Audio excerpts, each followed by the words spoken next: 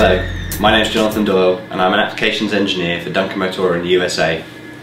I'm here to show our demonstration unit of our master integrated motors where one motor is able to control multiple other slave motors using a freely programmable programming language.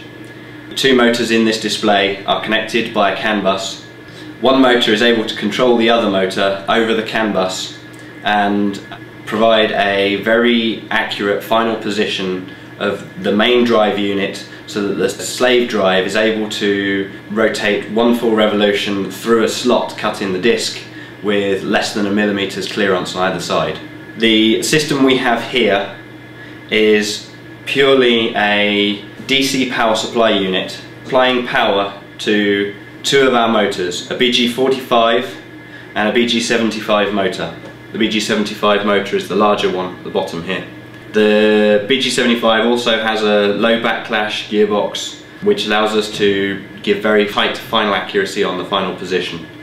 BG75 motor will rotate the main disc and send a command to the BG45 motor telling it to move once it's finally reached its final position. And from this demonstration we are showing that our freely programmable motors are able to be used on a slave network for multiple motors but also they can be used to take some complexity from a system to allow the system designers to concentrate on their own control aspects where our motors are able to take over some of the more complex tasks from a master controller and um, allow a much simplified system and reduce CAN bus overhead if you're using a CAN bus system.